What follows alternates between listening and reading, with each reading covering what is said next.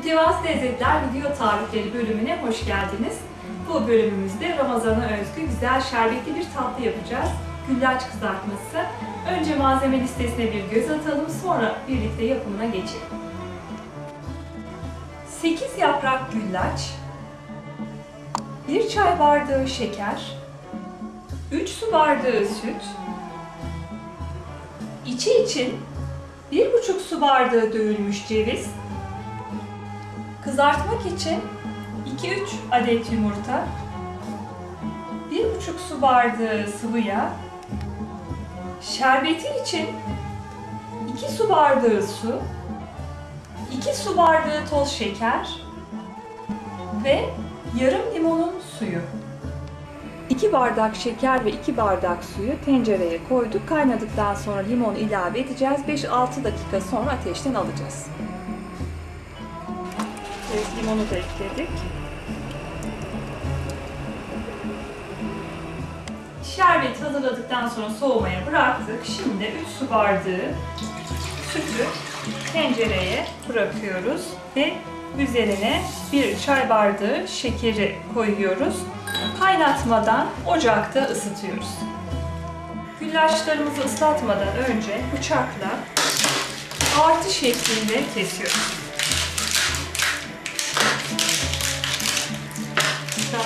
Komik sesler çıkıyor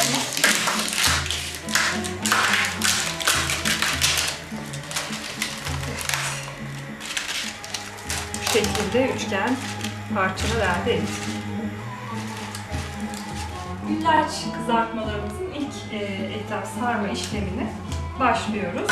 Kaynatmadan ısıttığımız şekerli sütten bir miktar alıyoruz ve kestiğimiz güllaç yaprağını döküyoruz. Biraz yumuşaması için bekliyoruz.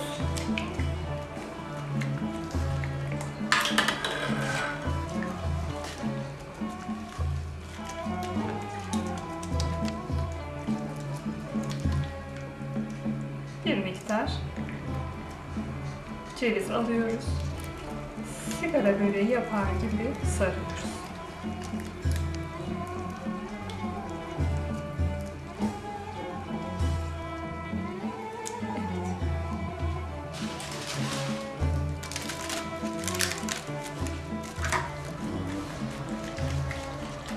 Evet, süt soğursa arada bir gene kaynatmadan ısıtabiliriz.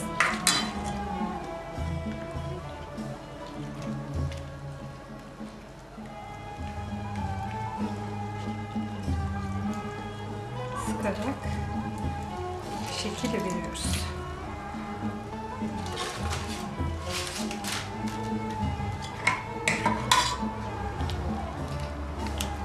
Evet, tavaya yağı bırakıyoruz. Isınırken biz de yumurtalarımızı çırpalım.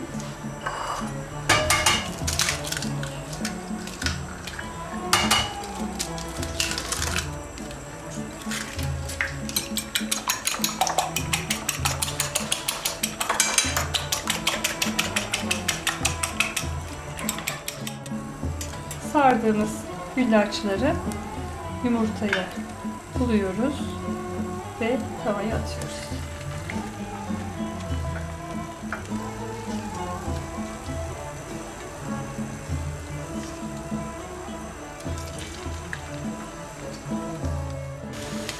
İki yüzünü pembe renkte kızartıp alabiliriz.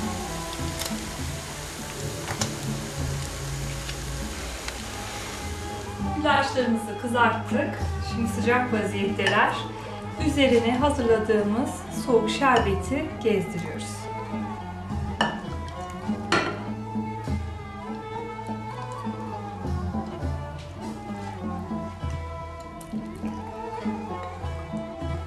Yaklaşık 2 saat sonra servise sunabiliriz. Mütevazı Lezzetler Mutfağı'nda bu bölümümüzde Ramazan'a özgü bir lezzet hazırladık. Kızartma güllaç. Biraz zahmetli ama tattığınız zaman uğraştığınıza değecek. Şimdiden afiyet olsun.